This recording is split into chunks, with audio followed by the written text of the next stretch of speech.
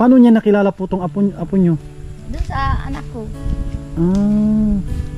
Ibig sabihin, parang naguluhan ako ah. Ano yung connection ni ano? Si isali natin si si Kuya, ano? Ako po ang asawa niya.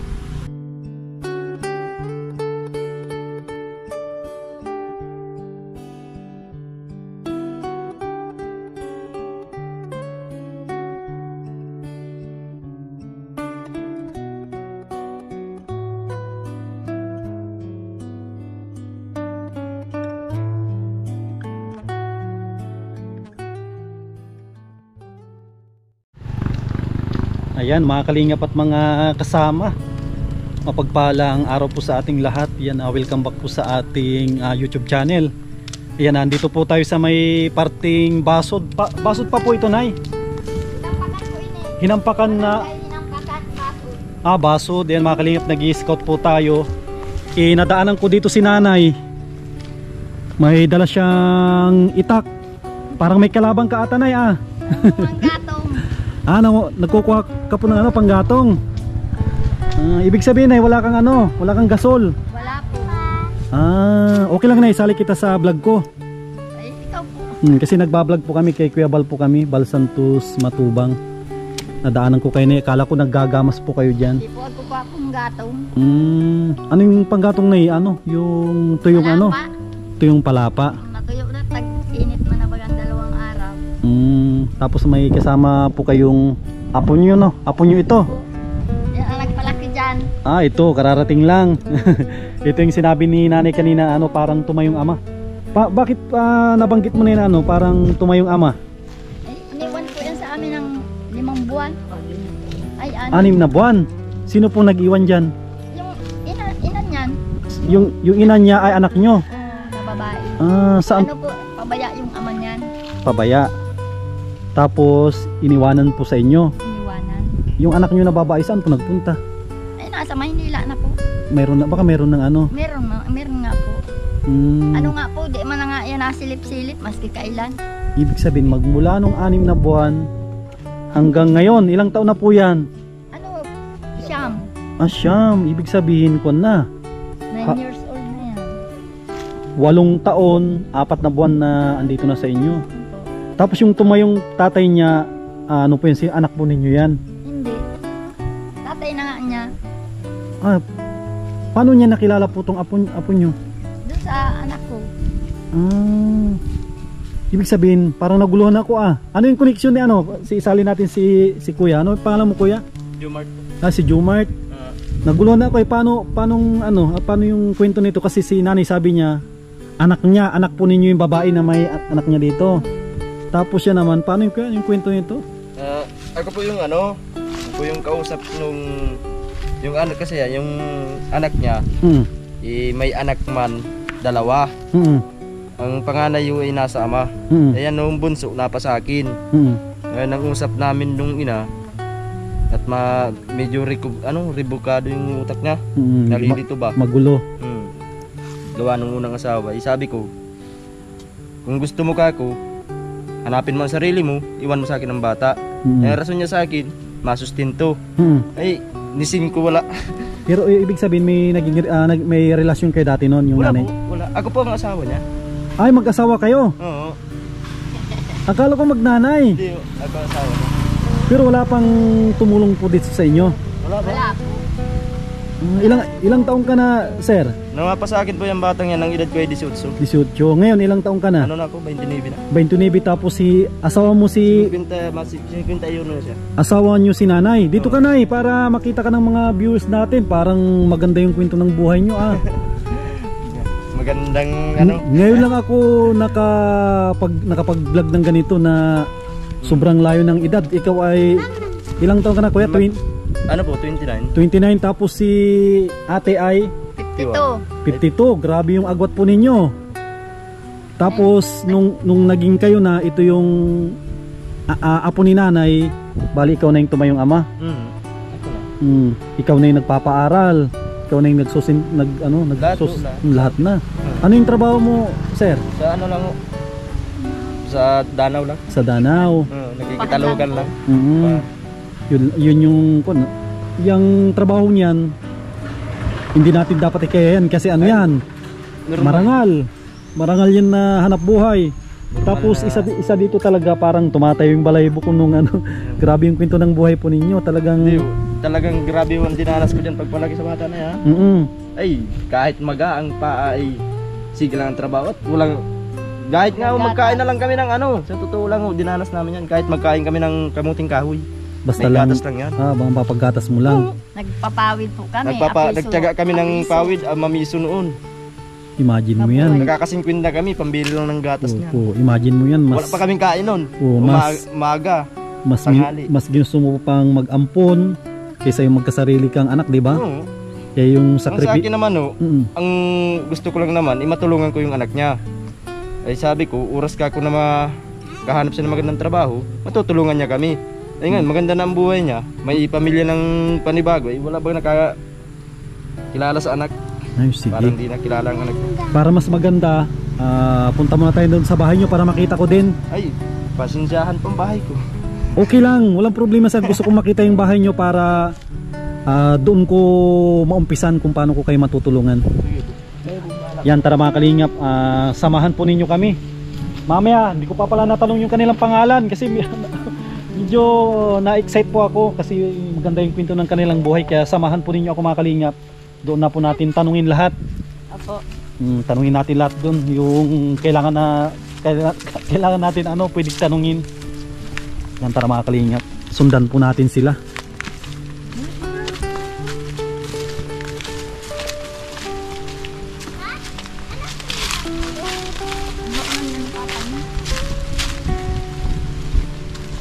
doon po ito mga kalingap looban yung kina ate looban yung kanilang bahay pero pag ano pero pag tag-araw alam ko dito kung dito pasok kahit ano kahit yung sakyan natin pwedeng pumasok dito eh, ngayon hindi pa pwede kaya iniwan po natin doon sa labas Kaputi po nga ni. Ngayon lang mm.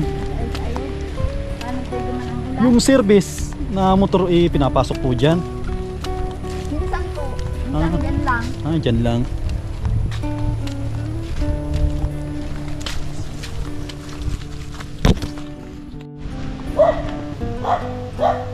Ayan mga kalingap, nandito na po tayo sa lugar nila ate. Yan, medyo mahirap po yung daan, ano, maputik.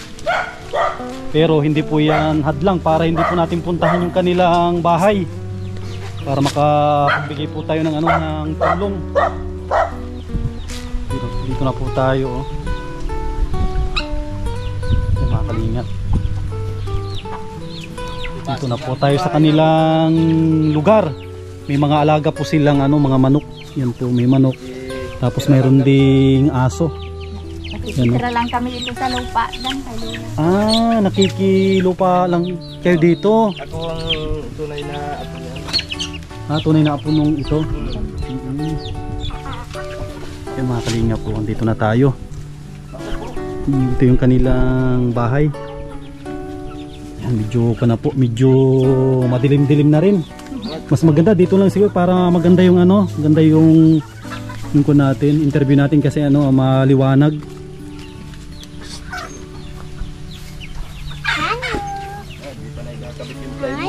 Mm. Budget. Okay lang yan. Tsaga-tsaga lang. Bali, andito na po tayo mga kalingap sa bahay. Ano na pala yung pangalan mo, tabi ate? Nancy po. Nancy. Pante. Abyada.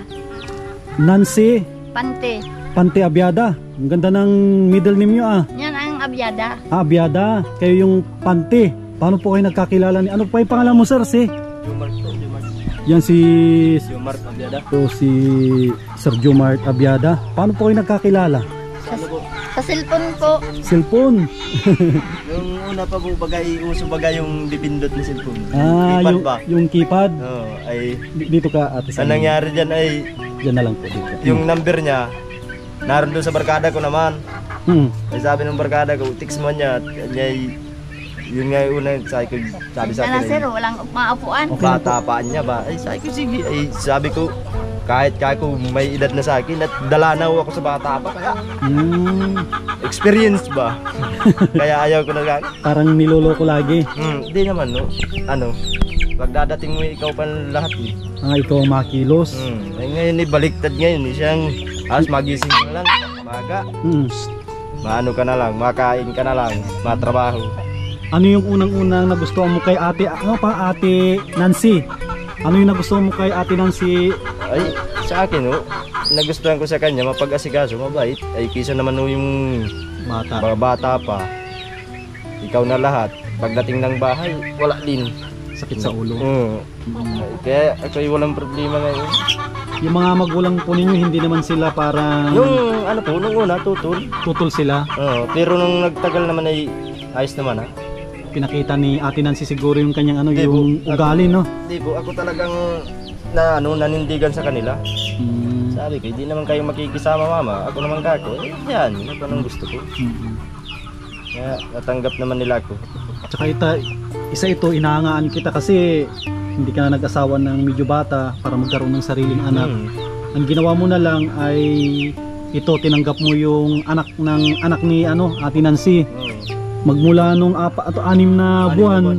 kayo ng dalawa ang magka ano, magkatuwang ni Ate Nancy. Kami na, oh. Lahat gatas, Kahit- lahat na pagkain. Hindi, oh, kami, kami, sabi, ang rason namin noon at nasa akin yung batang yan, galit sa akin sila mama noon. Mm, Ano niya papakain mo sa bata? Ay wala ka niyang matatag na trabaho. tapos hindi mo pa kadugo.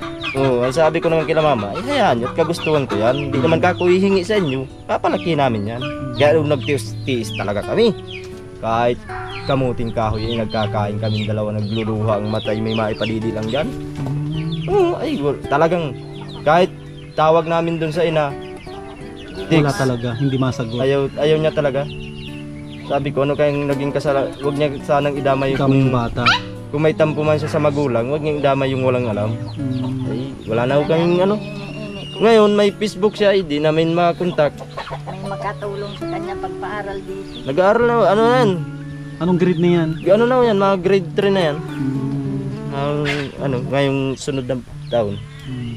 Kung pala Ate Nancy, no, grabe yung pinagdaanan nyo pala para mapalaki yan si... Anong pangalan mo, Nings, eh? Princess po. Oh, Princess. Ang ganda ng kanyang pangalan. Sabi ko nga po, nag, nama, nanawagan kami dun sa ina. Kahit nag-post na ako sa Facebook, sabi ko, kahit kako tawagan mo man lang kako yung anak mo, nakakausap man na. Mm, Sabi ko, kung ayaw mo kakong magbigay sa anak mo, kahit kausapin mo lang, wag mo kakong ibigay yung focus mo sa isang anak mong nandyan. Kumbaga, wag mong ipagkait yung... Para, Oo. para maramdaman naman yung mayroon Eh, siyang magulang. Ako lang ho, ay nagagalit naman ho ako.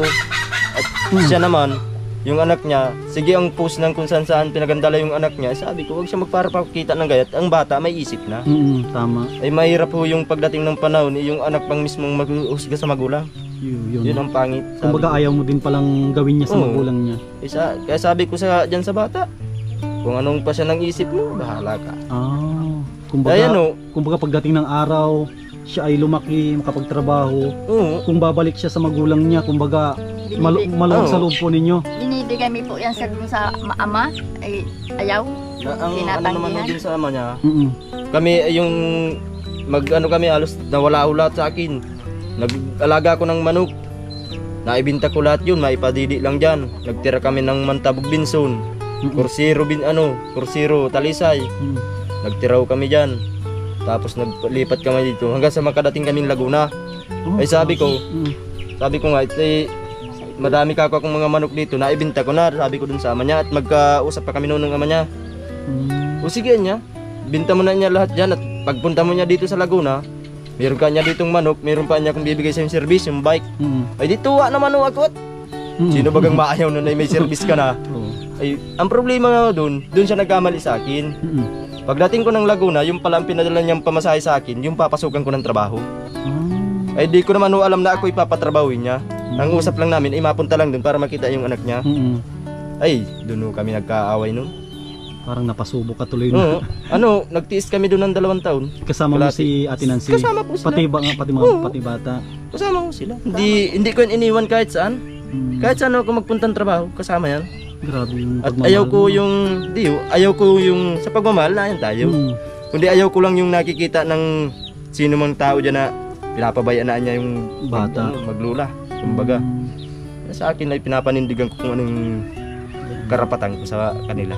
Yan, dyan mo ako mas lalong pinabilib talaga. Oo, yung talagang pinakita mo yung pagmamahal kahit hindi mo siya tunay na Oo, anak. kahit to ay kami matagal na kami magkaasawaan ka niyan. Hindi ito sasabihin ko sa inyo totoo. Hmm. Magkaasawaan kami niyan 17 anyos ako.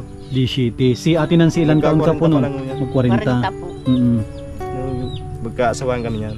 Unang-una yung kwento ng buhay po ninyong dalawa. Masyadong agwat pero Oo. andyan pa rin yung pagmamahal. Oo, eh, di di na ako nag-isip na yung magkakuha ko ng bata ba.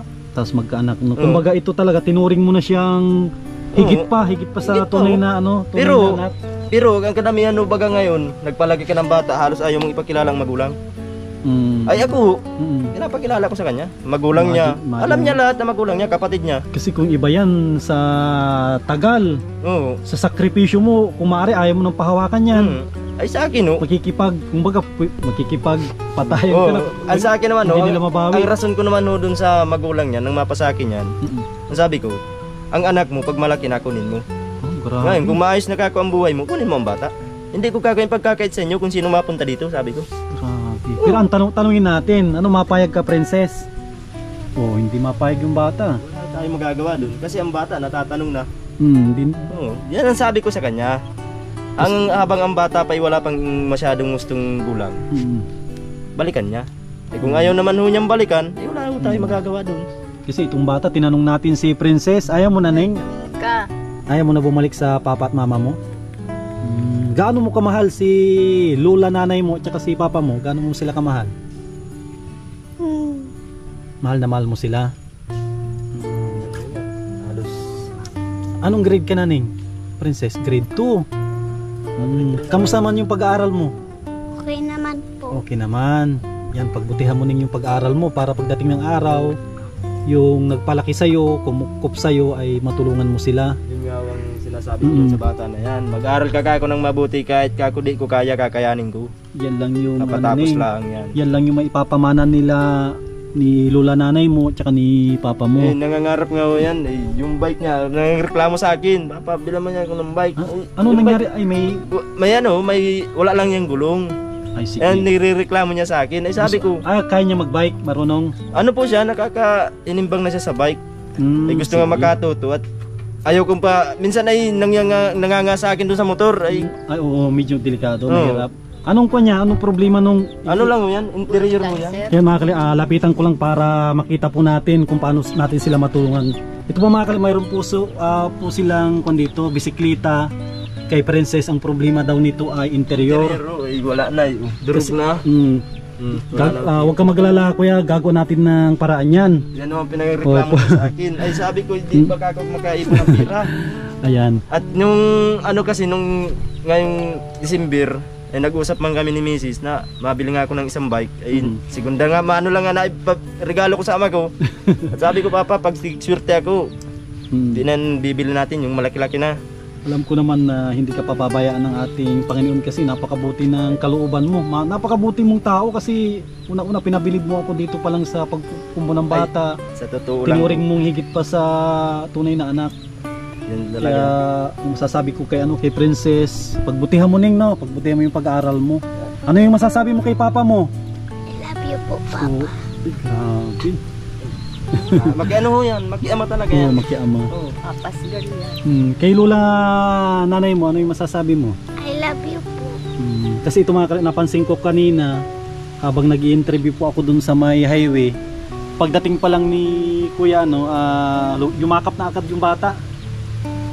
Sinalubong niya niyang yakap kaya nagtaka ako kung may Pag bigla. di niya makitang maghapon, pag uwi niya, May na. mayakap na yan dyan. Hmm. Na, ano pati yan?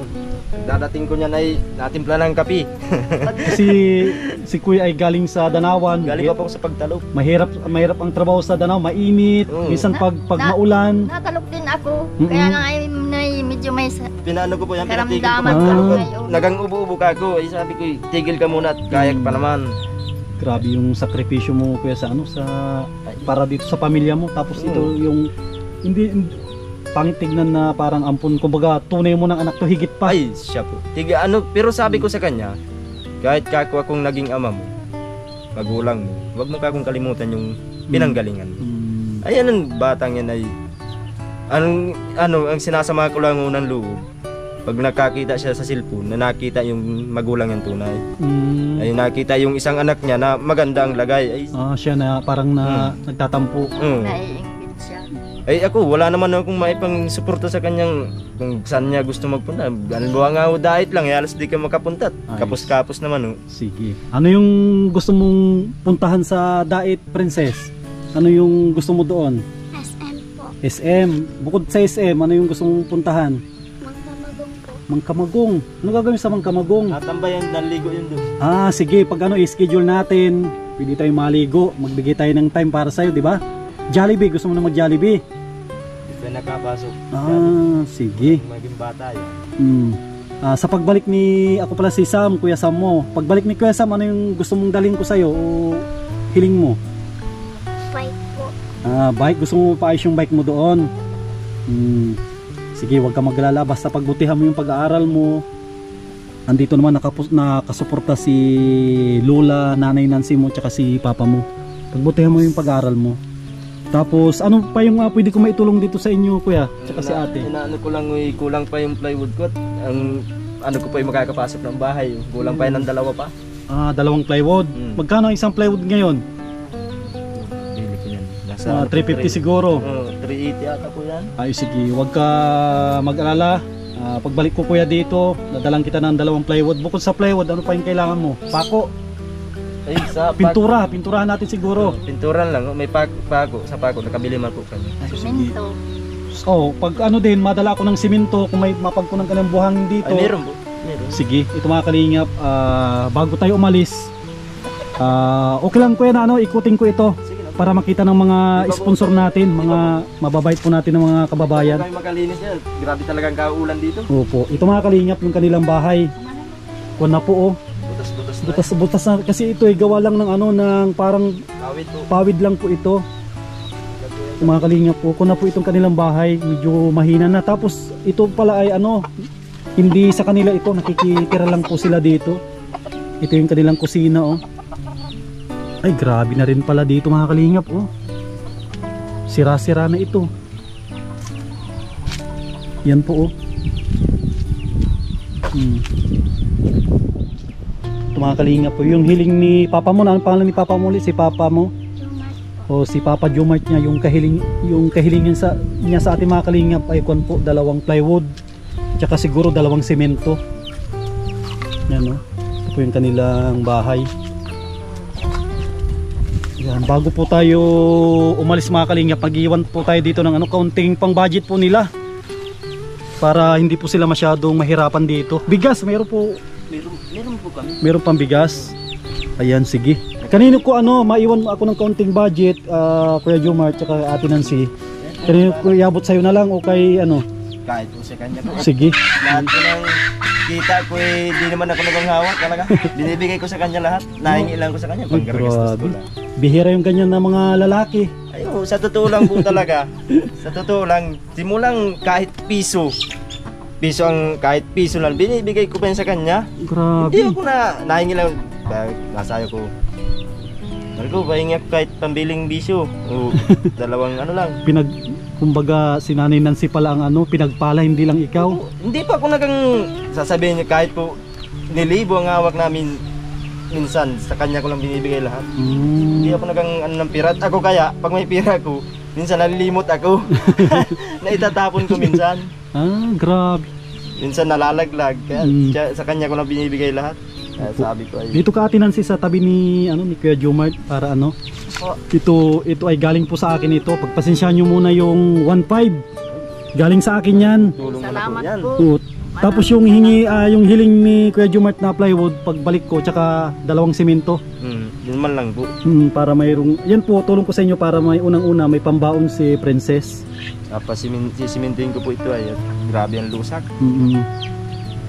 Grabe, kung tala first time ko makapag-vlog ng ganito yung sobrang layo ng agwat ng edad. Pero grabe naman yung pinakita yung sa akin na ano, yung pagmamahal ninyong dalawa. Tapos yung bata, kasi kanina kita ko lang yung pagsalubong niya sa'yo. Yung, yung, yung yakap lang talagang pag, pampatanggal na ng kahit sobrang Ay. pagod ka sa ano. Oo, nawawala baga. Mm. Ay, maki, ano yan, talagang sa totoo lang po kahit ako'y napapagod. Pag sabi na, Papa, kapi. Hmm. Atin pa naman yung kapi. Grabe. Sige, paano yung kay Jumark? Mauwi na rin po ako kasi may dadaanan pa ako dyan sa ano. Atin na po, kita palabas po. Mm. Ayan mga kalingap, grabe. Nakaka-inspire po yung ano, yung kwento ng buhay ni Ate Nancy at ni Kuya Jomart. Napakalayo ng agwat ng kanilang edad. Pero andun yung ano, yung talagang tunay na pagmamahal. Bukod pa dun mga kalingap, mas ah, lalo akong ano humanga kay Jomart kasi yung ano yung yung sakripisyo niya dun sa bata hindi pagamat hindi niya sariling anak pero mas higit pa sa ah, tunay na anak yung pinapakita ni Jomart dun sa bata. Talagang nagsakripisyo siya. Tulad ng naikwento, ah, naikwento niya kahit hindi na daw sila kumain basta mayroon ng panggatas yung bata si Princess. Yan sana. Sana may tumulong din po sa kanila sa kanilang pang-araw-araw na pangangailangan. Kasi para sa akin mga kalingap isa sila sa mga deserving na matulungan kasi kwento pa lang ng kanilang buhay ay talagang nakaka-inspire na po talaga. Bibihira po yung ganyan na mas pipiliin pa po mag-asawa ng mas matanda sa kanya. At alam niya na hindi na sila magkakaroon ng anak pero hindi hadlang yun yung ganun na ano yung sitwasyon. Kahit nagkasawa siya ng medyo may edad na sa kanya ang purpose talaga yung pagmamahal. Tulad ng sabi niya ah, yung mga bata hindi daw marunong na mag-alaga. Paggising niya siya pang maluto. Siya pa siguro ang ma, ano, ma, tawag dito mahugas ng plato. Kaya mas ginusto ni Jumart na ano, mag-asawa ng may edad kasi maasikaso. Yan, uh, bilib ako kay Kuya Jumart tsaka kay Ate Nancy. Yan Ah, talagang pinahanga po nila ako sa pagmamaha pagmamahalan po nila yan at ah, ito nagpapasa nagpapasalamat po ako sa ating Panginoon na papauwi na po tayo ay isa. Isa is- isa pa sila na ano na natulungan po natin. Talagang uwi na ako nakita ko sila nakaupo lang doon. Ay talagang ano ibig sabihin ay dinala ako ng ating Panginoon sa lugar nila para sila ay matulungan po natin. Ayan, ah, muli mga kalingap, nagpapasalamat po ako sa ito ah, patuloy po ninyong pagsuporta sa ating channel, sa inyong lingkod, sa Masli TV. Ayan, sana wag po kayong magsawa. Ayan, at ah, nakikiusap po ako, nakikisuyo na wag po nating i-skip yung ads para makatulong po tayo sa ating mga kababayan at ah, nagpapasalamat din po ako sa mga mababait po natin na mga sponsors yan ah, maraming salamat kay Ate Nancy Lim kay Ate Hubita Bilisa Tejero kay Ate Margie Ate Lerma Tanaka kay Horbin TV Vlog. Maraming salamat kay Manay ah, from US kay Lina Barbosi. Maraming maraming salamat kay Ma'am from Ireland sa ating mga anonymous sponsor kay Ma'am from Iloilo kay Susan of Colorado. Lahat lahat po ng ah, nagmamahal sa ating channel. Maraming maraming salamat. Kahit hindi po ko, po kayo mabanggit lahat. Alam naman ni Lord at alam po ninyo yung ginagawa po ninyo na pagtulong sa ating mga kababayan. Ingatan po kayo lagi ng ating ah, Panginoon. Yan at uh, shoutout sa mga kababayan po natin na mga OFW yan uh, lagi po kayo mag-iingat dyan kasi malayo po kayo sa inyong pamilya. Mahirap po magkasakit. Yan ang maigaganti ko lang po sa inyo ay araw-araw ay pinagdarasal ko po kayo na lagi po kayong ingatan ng ating Panginoon. Yan ah, maraming maraming salamat po. Pakishare po natin yung ating mga vlog para madami po tayong maabot at tulungan na ating mga kababayan. Maraming salamat. Mag-ingat po kayo lagi. At ah, mabuhay po tayong lahat. God bless